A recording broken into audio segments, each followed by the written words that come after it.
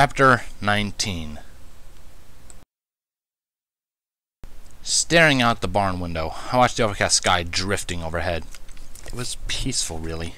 I kept a lookout for any rainbow specks, but there was no sign of her. Maybe she had today off? She probably handled the weather during the winter, too. I shifted myself in the hay, deciding that the loft was rather comfortable. My ears twitched and rotated around to face partially behind me as I heard the conveyor start up again. This is the third test now. So far, it had been working flawlessly, much to her enthusiastic delight. Even Big Mac seemed quietly impressed by it as his sister tried heavier and heavier loads. I didn't hear anything straining, so I took that to be a good sign. She was trying a full crate on it, filled with apples this time around. Twilight sat a good half dozen meters away, ready to try operating the lid from lo lift from the loft.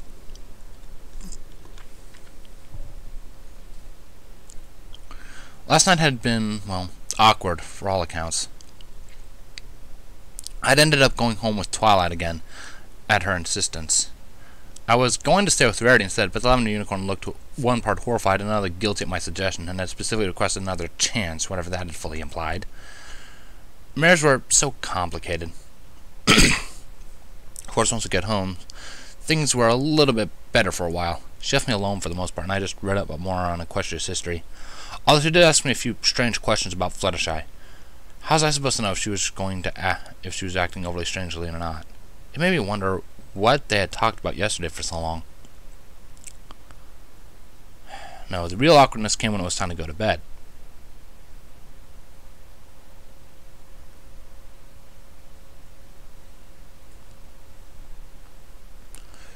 It took a certain level of finesse to brush your teeth, when all you had was a hoof. They had almost everything imaginable with loop attachments for proper use without magic, of course, but it took practice to use them. This was a nightly event, however, so I was getting better at it. Twilight hummed as she wandered about the room outside of the bathroom. Several books were out still, and she had moved the wood samples upstairs, it had seemed. That meant the mess surrounding them had migrated alongside, and now she was busy putting books away, probably out of fear I'd trip on them and break something. Spike snored quietly, curled up in a loose ball in his little bed, residing at the foot of Twilight's much larger bed. I smiled over at him as I brushed. Tonight had been more pleasant than anticipated. I had expected to be grilled by Twilight upon returning, but she was overly pleasant instead. Idly, I wondered exactly what Reddy had said to her earlier.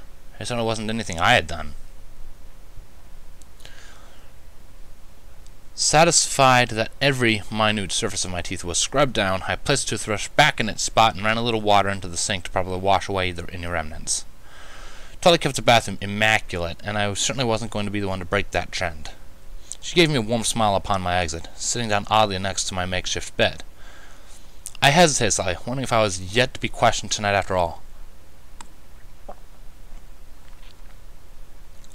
How are you feeling? She quietly inquired, smile not faltering. Well, that was, while, while a question, that was hardly the one I had expected. I'm tired after today and a little sore still, but better. Or did you mean mentally? I returned, restraining all snarkiness from my voice and trying to keep a calm, stoic expression. Her ears lowered slightly alongside her brow, but she shook her head carefully. A moment later, after seemingly considering her words, she answered, No, I know you're not fully recovered from everything you've been through. That's to be expected, however. I am regret not taking your feelings into consideration over it. Rarity opened my eyes to that. What did she say to you exactly? I finally asked, voice softening as I walked over towards the end of my bed and sat down next to the corner a meter away from her. It was a lot of shouting, but I think you've guessed the most of it. She fed me my own words back about how important trust is. I kind of forgot that in my defense of my teacher, I admit, she explained, unable to meet my eyes any longer and looking down instead. I chuckled weakly. Yeah, I really had guessed as much. Still, it wasn't entirely as predicted. It's understandable. I mean, comparatively speaking, the amount of time spent with Celestia is an ocean to my bucket. It makes sense that she'd be a higher priority, I reasoned. That was a mistake, it would seem. Twilight's ears dropped all the way down. I started to shiver as she looked back up at me again. No, Mender. I'm just not used to this.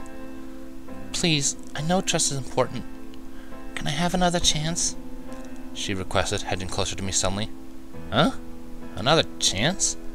I didn't know what she was referring to in all honesty.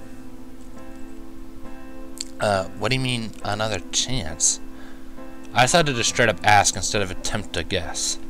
A break from character for me, but there was way too many possibilities this time. To keep your trust in me. I know it's asking a lot at this point, but I really want you to trust me, to know that I'm not going to hurt you. Lavender Unicorn expanded upon.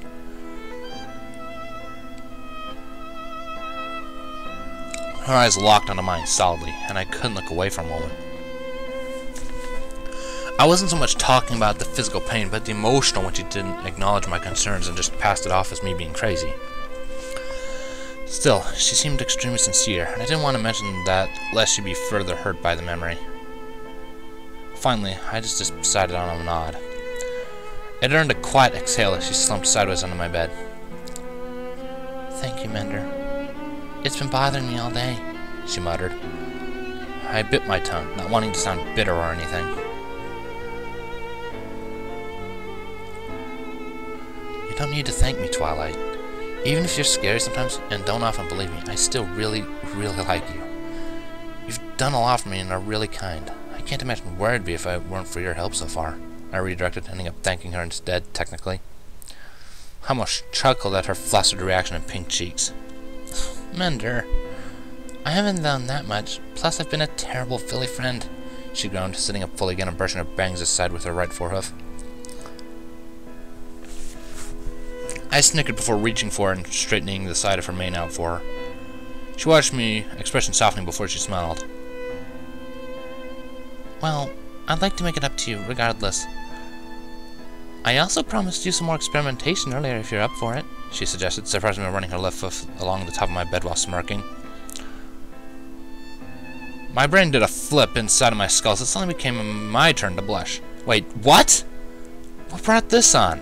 I asked, unable, unable to keep the surprise out of my voice.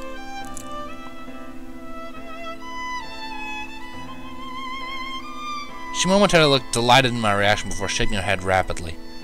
again, I want to make it up to you.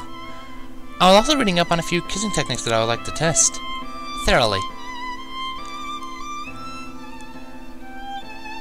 There was a long, awkward moment as I broke eye contact with her, face now beet red as I stared at her hoof on the bed. Oh, how I wanted to, I suddenly realized. Warm, fluttering sensations were filling my stomach as I considered it. Still, something didn't feel right about accepting the offer. Then it suddenly dawned on me.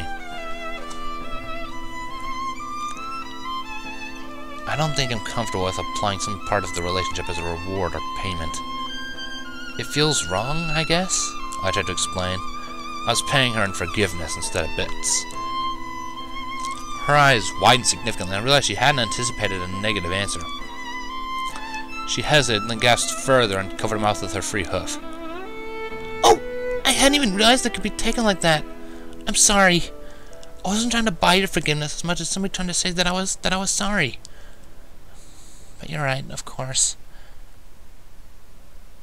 It should probably split into two separate aspects. Maybe we can experiment tomorrow night instead, she offered. I contemplated the fact that I'd just technically ruined my chances at what I had really wanted, but decided a moment later that it was indeed for the best. I wanted to embrace her because she wanted me there, not because she felt guilty. I managed to smile and a nod, which seemed to relieve her further.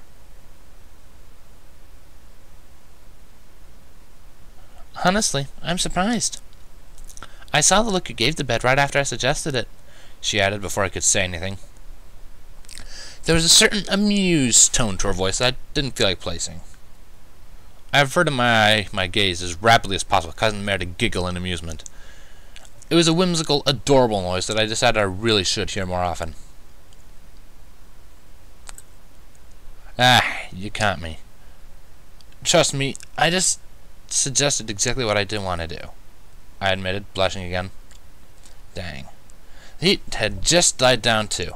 So I had a feeling she'd appreciate the honesty. Instead of being annoyed, she looked further amused instead, with just a hinting of relief. Well, I'm glad you're definitely interested in me. I've been doing a lot of reading on the subject trying to improve myself, but this is really different from anything I've studied up on before. There's not exactly a lot of concrete data, she complained, sighing wearily and glaring over at her personal bookshelf on the other wall. I tried not to laugh. Maybe you should just ask me instead? I know that I've never done this before, but if we are testing compatibilities, it would make sense that the best source of likes and dislikes would be uh, the other pony. I pointed out, smiling gently towards her.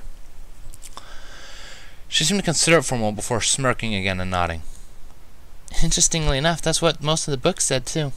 I it really is a good idea, then, she agreed. I was suddenly glad the book supported me. Celestia forbid that the books suggest covering me in tar and feathers before lighting me on fire. Well, again, you can ask me anything you want. I'll try to answer to the best of my abilities, I promised, before yawning tiredly. She stepped aside as I idly climbed up onto my bed before flopping over. Well, technically it was Applejack's bed, but that sounded wrong when I mentally said it. Remember would kill me if I climbed into the farm mare's bed. Actually, there was a long list of ponies that would kill me should that happen. I was in the same room as one of them, too. Twilight oddly didn't move away and just gave me a curious, thoughtful gaze as I settled myself in. I was about to ask her what was wrong when she pointed out and said, You're technically my co-friend now. That gives you obvious privileges, you know. You don't truly have to sleep there alone if you don't want to.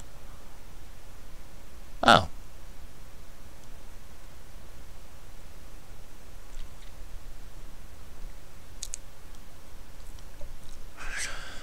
Like I said, last night had been intensely awkward.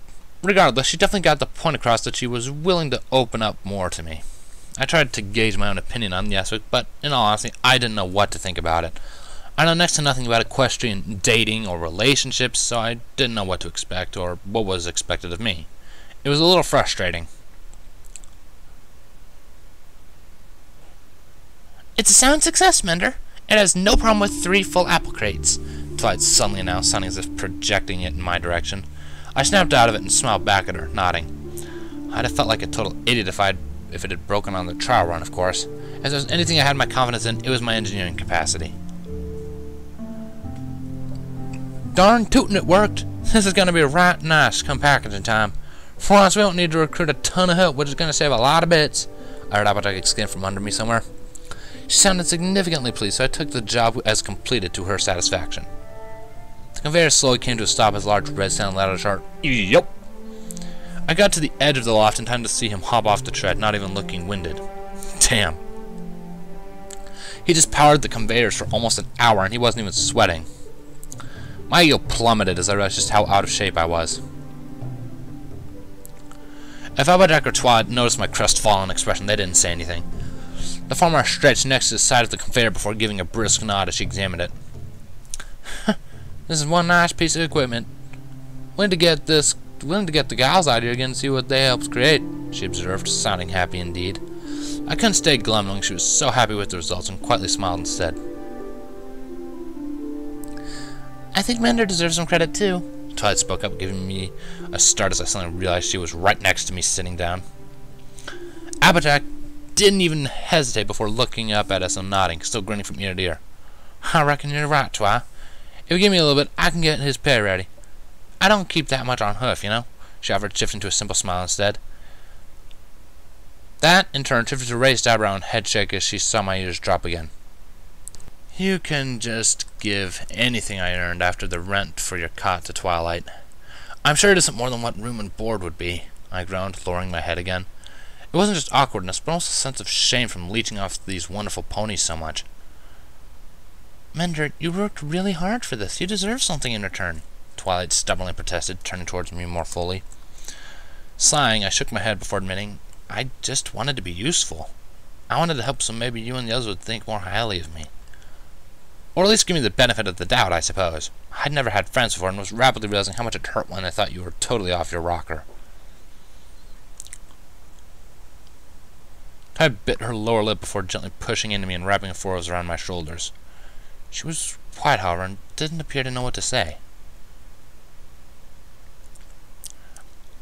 I know we got off on the wrong hoof, Mender. Knowing what I do now, uh, I know why, of course. After all this, and your right proper attitude all round, I do think of you highly. Applejack spoke up, wandering close to the edge of the loft and looking up at me fully now. I sighed, but nodded. Then keep your bits. Take all this as my honest apology for scaring you and acting so creepy when we first met. I want to be useful to you, Mares, and this is a good start for paying all the kindness. I explained openly. It had been bugging me since this, since she had insisted on paying me, and it was good to finally get it off my chest. The orange mare's ears flattened back and she frowned, however. Her mouth opened to say something when a red furred hoof pressed down gently on her shoulder. Let it be, AJ. Big Mac spoke simply, yet strongly. She glanced over at him, eyes darting back and forth in mild confusion before locking with his. A second passed before she gave a fresh clicking sound and shook her head, glancing back up at me. You're right stubborn, you stallions. I suppose I can be too. Fine. You're a darn good guy, though, and I'm going to tell everyone all I can about your skills. I have a feeling you're going to earn quite a lot of bits with your talents.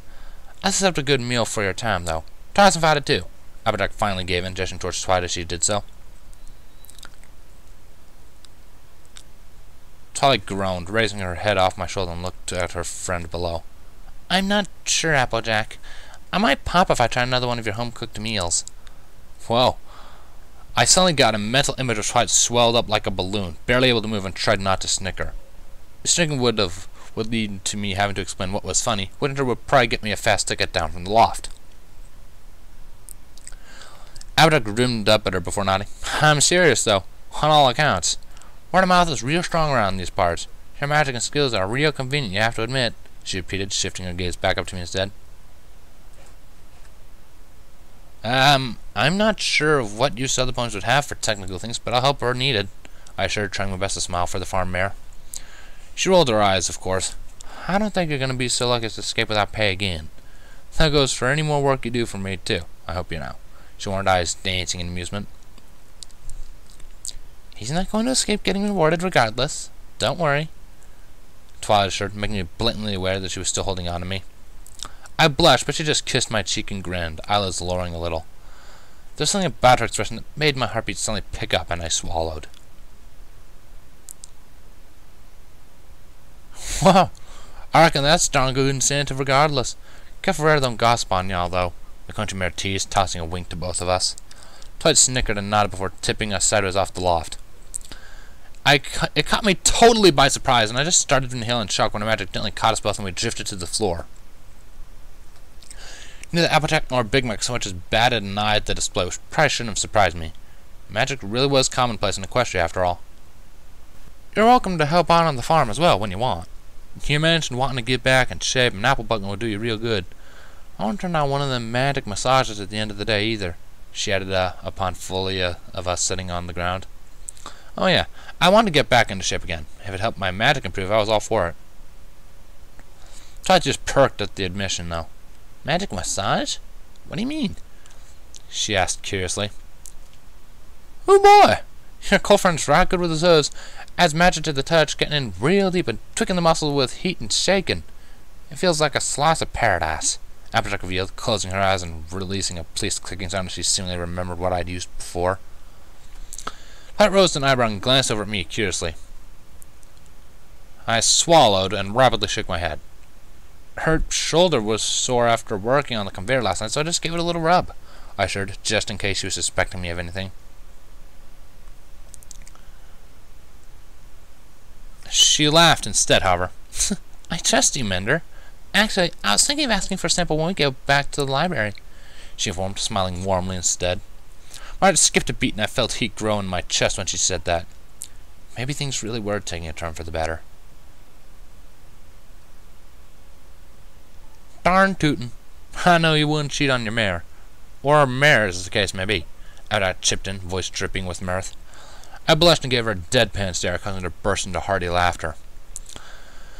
I couldn't keep the stoic expression and snickered myself at her rather contagious display. I started to notice that all six friends had different mannerisms to almost everything they did. Tully was more prone to quiet giggles and smirks, whereas Applejack just openly and honestly laughed when she felt like it, Both are appealing in their own way, and I started to really appreciate all the differences between them.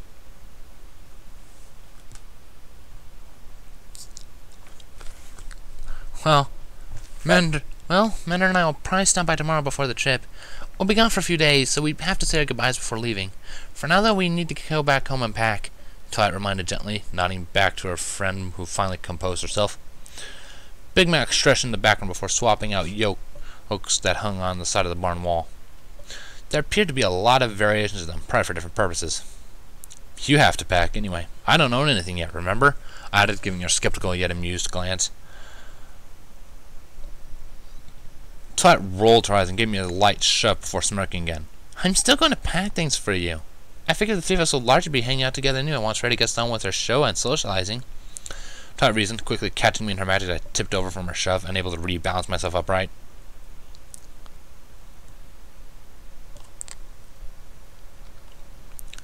If and I don't take her on that anyway. You know how she likes to schmooze with the frou-frou crowd? Applejack warned, rolling her eyes yet retaining the smile. Nobody batted an eye when I tipped over either, I noticed. I didn't even glance my way before catching me. Did that mean that my blundering was more commonplace than magic? Twilight let out a giggle before nodding and standing again. I'll try to keep her on a tight leash. You do take care, of course. We'll see you tomorrow before we leave, she assured yet again. I took my cue to stand up again, shakily making sure I remained balanced this time. Good. I'll hold you to your word, of course. Take it easy then, and have fun with that reward later, y'all.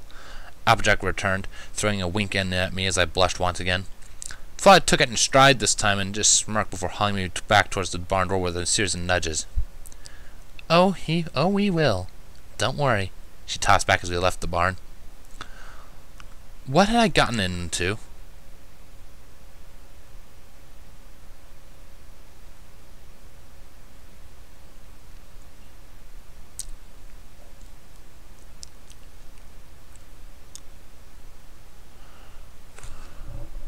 Reality continued to surprise me, however.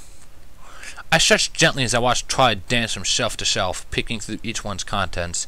I Occasionally she levitated an item or two down into the third bag we'd packed. Regardless, I simply sat there, watching her while holding the bag open with my forehoof.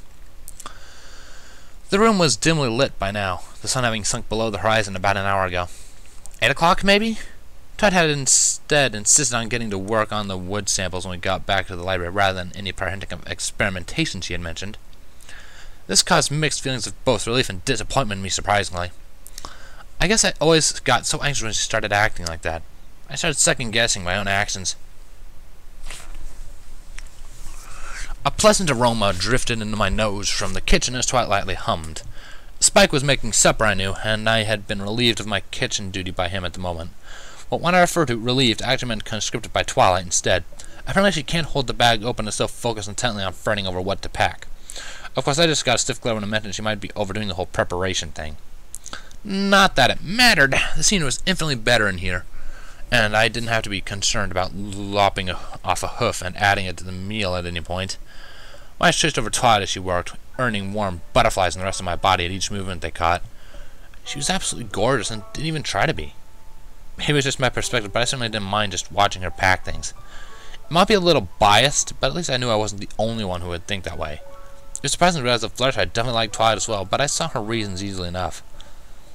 Not that it feels like these really needed a reason in the first place. Diamond Unicorn glanced back at me after dropping yet another item into the bag. Her gaze caught my own once more, and she immediately blushed, a light shade shift that was almost imperceptible in the dim light. She uttered a light groaning sound and looked away slightly. I know I said I don't mind you looking, but I think I'd actually find it easier if I caught you eyeing my flank instead or something, she muttered in a somewhat pointed fashion. I chuckled in amusement. Well, they're very nice flanks, I agree, but I like a whole lot more than just them, I reminded, sticking out my tongue afterwards. She smirked at my impish reply, and her expression relaxed a little. Your flattery only works because I know you're honest. Mostly get a magical boot to their flanks if they said that, she warned, snicking a little at herself.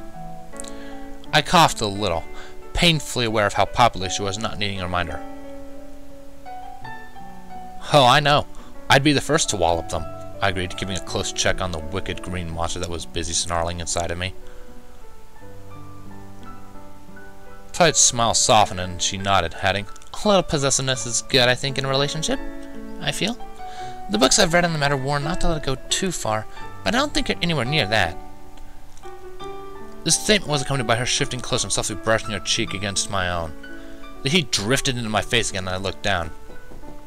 It still surprised me that Twilight wa herself wanted that kind of attention from me. She could probably have any stallion she wanted to. Still, I was too close now to treat her as anything other than just Twilight. She'd been introduced to me. Not as to me, not as a national hero and student of the practical goddess ruler, but just as a skilled magic user and kind mare. First impression stuck hard. She didn't appear to mind, however.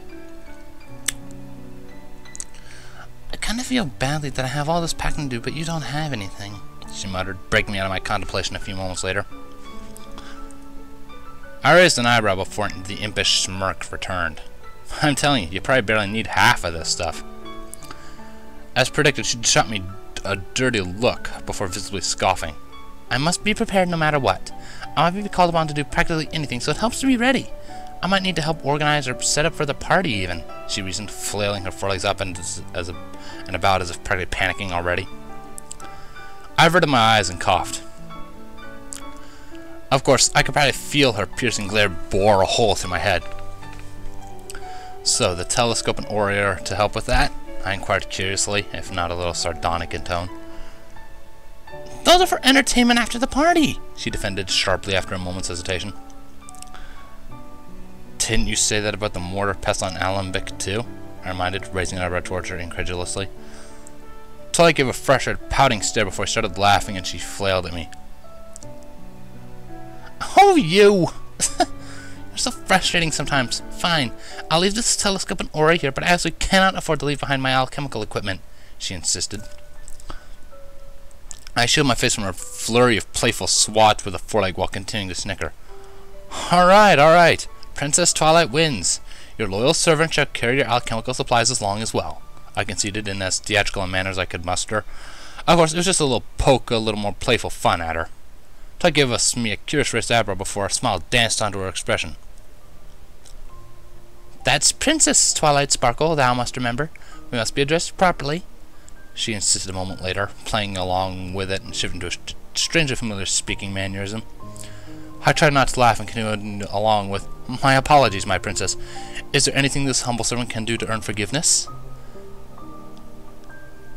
Pending any further transgressions, we have already forgiven thou.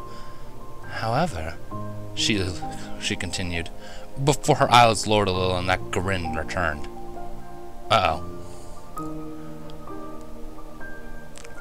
I found myself on my back before I could say anything. Apparently, one needs a certain threshold of air in one's lungs in order to properly formulate vocal noises. It was a fascinating discovery. Learned at the same time that was the fact for kissing, one definitely did not require that same threshold. Till I broke contact a few seconds later. I'm still hovering over mine and light flesh on her cheeks still. Thou keeps being so adorable, surely we can spare a pleasant reward, she followed up, assuming from her prior sentence. Okay, now she's just screwing with my head. I rolled my eyes while smiling still before reminding, Surely, Princess Twilight Sparkle remembers that she shall be very busy with her duties all night and won't have time for such. Her eyes lit up with amusement as I continued. Suddenly I started to question just how much she was enjoying this verbal exchange. It didn't help that she was pressed right up against me, chest to chest. Focus, Mender! We shan't be busy all night, of course. Much rewarding shall be done upon retiring for the evening with thou, Ty informed before slowly starting to inch closer. All alone, together. My breathing caught as I felt hers gently against my chin. She was teasing me again. Why did she like doing this so much? Regardless, I kept forcing myself to remember that. I started to playfully scoff and resumed the acting of course regardless of how my blazing cheeks probably shifted me out of character. She interrupted, however, further, however, by ducking down and pressing a heated kiss directly to the side of my neck. My eyes flew open in shock at the same time my body locked up at the new, entirely unexpected sensation. It was like a light switch got turned on, and I was suddenly all too aware of my intermingling fur between our bodies. She was so soft and warm that I couldn't help but lift my forelegs up and wrap them around her back, pulling her closer against me. Her kiss, pu her kiss pushed harder up my neck, and she added a light lick before lifting her head up again, smiling down at me with a victorious grin. Ooh, someone has a sensitive neck. I'll have to remember that, she observed slyly, causing me to swallow. If I couldn't manage to say anything, as I just stared up at her in shock, cheeks feeling like they could fry eggs if given the chance. I can still hear you, you know, was suddenly shouted from the direction of the kitchen. Twilight's mischievous grin melted into an embarrassed, shocked look in less than a heartbeat. I coughed slightly, seemingly reminding her that I was still here and currently underneath of her. She gave a guilty smile and awkwardly stumbled sideways off me, trying to untangle her legs from mine. I fought down stirring feelings and managed to get onto my hooves again, unable to, unable to push back the blush. Ah, we should keep packing up, she finally excused awkwardly almost ten seconds later. That might not seem like a lot, but when blushing fiercely in a supposed active conversation, it's an eternity. Sighing, I nodded weakly and stood up fully again, feeling my back legs crack in a somewhat pleasant manner. We've almost got everything packed now. Can you get the drawings and notes I made about the wood samples as well? They're in the sample cabinet over there, she requested, gesturing with a hoof before peeking over the shelf in front of her, gathering what happened to be official papers. Oh yeah, she'd wanted to present her findings to Princess Celestia the day after the party. She'd indeed working been working hard on it, not that I thought whatever it was in the forest was still around at this point. I wandered over to a series of three wooden cabinets all in a row. Sure, she sure kept a lot of samples. Pity she didn't specify which one the wood notes were in. I mentally decided that she was also on my list of things I'd never thought I'd be looking for. Notes on blocks of wood. Mentally shrugging, I just decided to metaphorically bite the bullet and open the first cabinet closest to me.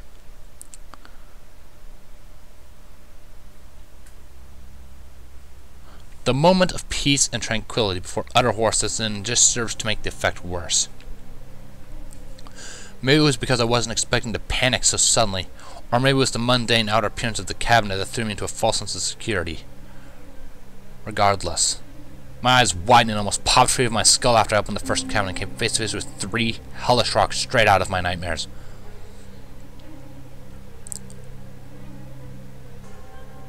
My first distinct thought while stumbling backwards and falling away from the cabinet was wondering why she had kept them. After what they had almost done to both myself and two of our closest friends, the rational solution would have been to find a place that she could obliterate them, a lava floor, tectonic shift came to mind almost immediately. So why were they here in an unassuming cabinet all of 30 feet from where I slept that night?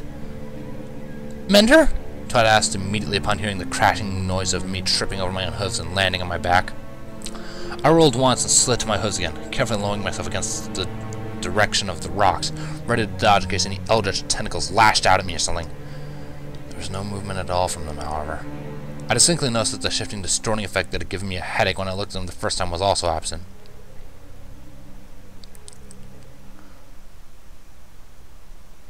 Twilight moved into my vision and rapidly closed the cabinet again, not meeting my gaze. She hastily opened the third cabinet instead and pulled out a stack of paper notes. That was it. She was just going to stash them and pretend I hadn't seen them. She knew exactly what I'd seen in there. Twilight, I warned, eyes narrowing a little as I stared at her. She halted, sighing before putting the papers into the folder she was still holding. I know. I said I got rid of them, she admitted, lowering her head before looking back over at me in a guilty manner. It had been discussed prior after they'd officially caught up to me as to what happened after I lost consciousness. She told me they'd deactivated after the explosion and she'd disposed of them. Why? I asked, relaxing a little bit. A part of me expected the cabinet to burst open again, pulling us all into the inky darkness no matter how much we screamed. She still refused to meet my gaze. They're important, Mender. If something like that happens again, having samples might be the only thing that stops disaster, she defended, distinctly interested in her right forehoof. I exhaled quietly, finally deciding that she had only half lied. They certainly didn't look the same as they had, so maybe they were truly deactivated. The cold sensation slipped into me again as I remembered the feeling of having one of their tendrils attached to my chest. It was so cold that it burned, creeping into my body as it tore through the tissue and wormed its way into my very being. The worst part was knowing what it actually was. A hole in reality going back through to the very place I so wanted to avoid. I doubted any living thing would survive the chance via that method, however. Regardless, I finally gave up. Really, if it wasn't that big of a deal, I guess. If they were deactivated, they were only rocks. Sighing, I nodded to her and lowered my head. There was something I could do anyway. I could hardly force her to get rid of them. This was her house, and they were technically her property after all. My ears twitched and I frowned, remembering that I technically didn't have any property in the first place. Mender, are you okay? I'm sorry that I didn't tell you the truth. I didn't think you'd understand me wanting to keep them. She apologized, hedging closer to me carefully. I held my ground and didn't shrink back this time as best I could. Surprisingly, she smiled and edged closer yet before gently pecking me on the forehead. Thank you, Mender. I'm not going to hurt you. She'd said it before, but I guess it was just a matter of convincing myself of it now. I know, Twilight. It just surprised me is all. I muttered slowly, looking back up at her again, unsure what exactly I was supposed to say. Thankfully, Spike saved me the awkwardness. Hey, you two, dinner's ready! Little Dragon called out from the kitchen and dining room area. Twilight peeked past me towards the sound of his voice before nodding and smiling further. I took my cue and turned around, heading towards the glowing doorway that led to the fully lit kitchen. It was so much more peaceful at night, I decided. Hoofsteps slowly followed me, indicating my filly friend was coming along too. I still felt weird to even think about it. Spike had produced a rather simplistic dinner, obviously made for three ponies. Well, two ponies and a drake. I didn't exactly know what to call him. Regardless, it was more than pleasant, even if it was the last one to even if I was the last one to finish eating. It was a mistake to learn how to use utensil loops for my hoof, I decided. Twilight's magic and Spike's opposable thumbs easily beat my clumsy attempts at eating using at using just my hooves. So I even choked back a couple of giggles after I poked myself in the muzzle with the fork for the second time. Who knew spaghetti could be so frustrating to eat? Eh. By the time I finished, Twilight had migrated to finishing up the packing, and Spike was already washing the dishes. He was more than a little surprised when, instead of just dropping my plate in with the rest, I set it in and proceeded to help him clean everything that was left. He was an, he was an earnest little guy, that much was for sure. I felt bad that he worked by himself all the time, though. It took us another ten minutes or so to finish drying the dishes, and I saw his eyes starting to slowly droop by the time he put the last one away. Admittedly, I had no idea where to put them once they were dried. Getting a little sleepy there, Spike? I asked in amusement, obviously already knowing the answer. He sighed and nodded before smiling warmly again. Yeah, it's almost bedtime. For thanks to you, I got that last short done 20 minutes early and can get some extra sleep tonight, he exclaimed, sounding as if he were a little kid in a candy factory. I snickered as he wobbled to, and tried to get off the counter. In order to reach the upper cabinets, he had to climb up and stand on the surface of the, on the counter surface. Afraid he was going to fall, I walked up next to the counter, right where he was set to get down. He gave me a happy nod before stepping down onto my back instead and flopping forwards. He was still light as a feather, even after eating, so I proceeded out of the kitchen, towards the stairs up to the loft. Twilight, who was sitting on the couch and sorting her bag, smiled up at me escorting the sleepy dragon and nodded in approval. I perked and gave a single nod back before slowly making my way up the stairs, careful to watch where each of my hoes were going. Now that would have been ironic. I was worried he'd hurt himself, so I carried him up the only to trip and fall down it myself, both of us ending up in the hospital. Thankfully, I made it to say, safely to the loft and deposited him near the bathroom door. Thanks, Mender. You're so, uh, totally awesome. Yeah, that's it. He thanked sleepily, seeming to struggle with his words. Don't worry about it, Spike. Just brush your teeth and enjoy the extra sleep time. I waved off, smiling pleasantly at him. I was kind of glad he was taking Twilight and I so well, actually. Making myself useful around the house was one way to ease any transition time as well. Plus, he seemed seriously overworked, and I liked helping the little guy. He grinned and saluted me before turning and promptly running straight into the yet closed door. I winced as the wood shook and he stumbled backwards like, how? Um, that was just a fluke. I'm fine, he happily informed before quickly reaching up and turning the doorknob this time. I fought back any snickering as he rapidly ducked inside and closed the door again without making eye contact. Poor little guy.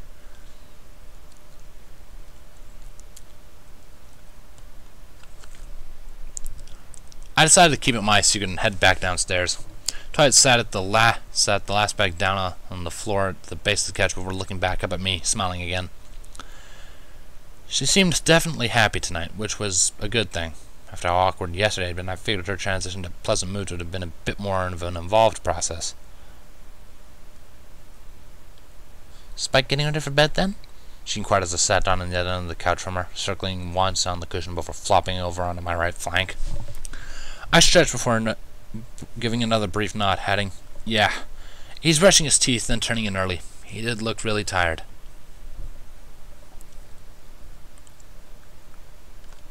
He works really hard on all of his chores. I'm really thankful for such a dutiful and proper assistant. That's why he's number one, she explained, closing her eyes and giving a cute head nod as if to agree with herself. She really did seem to appreciate him, and plus she seemed more than happy with his position. Which that, I decided all was in indeed well. Still, I'm really glad you're helping him so much. I worry a lot that he tries to do too much by himself, she admitted a moment later, causing my chest to warm up a little bit. Yeah, she honestly did care about him. A lot. That made me feel a little better about things. He really is like a little brother to you, isn't he? I asked, smiling at her from across the middle cushion that separated us. The urge to slide over and hug her was still there, but I didn't want to take a risk and destroy her good mood. Twilight nodded pleasantly before looking back over the crackling fireplace instead.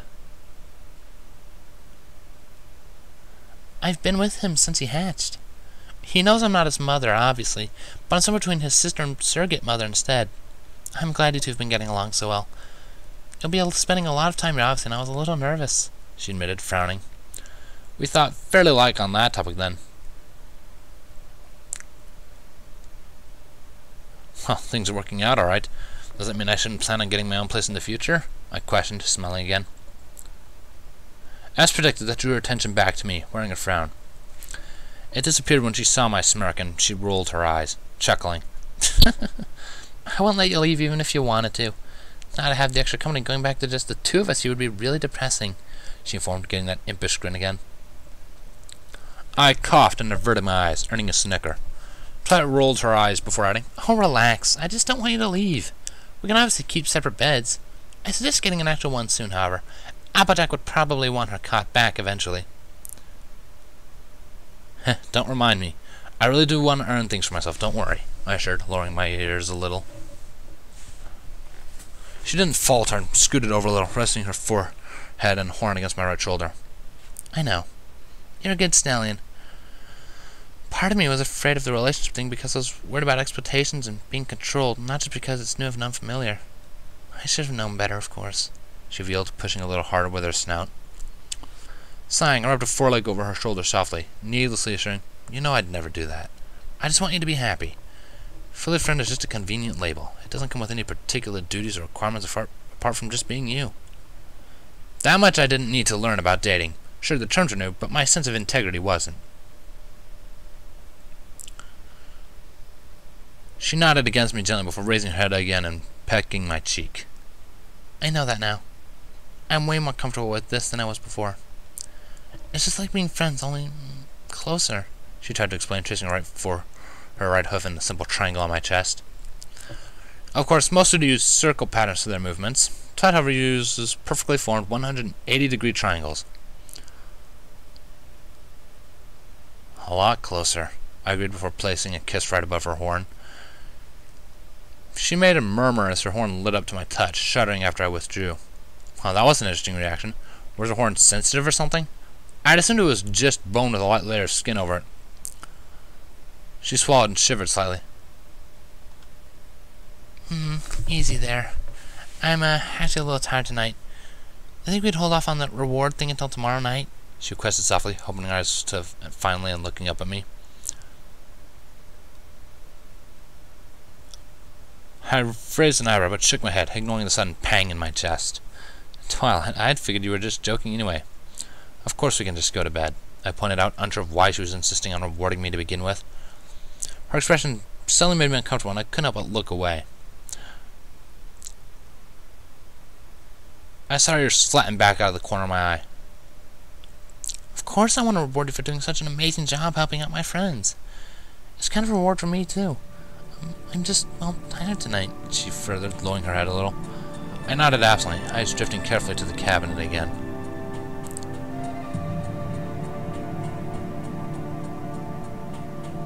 Come on, Mender. let's go to bed. We have a long day tomorrow. We can enjoy each other's company tomorrow night when it's just us in my castle room, she minded, standing up and sliding off the couch.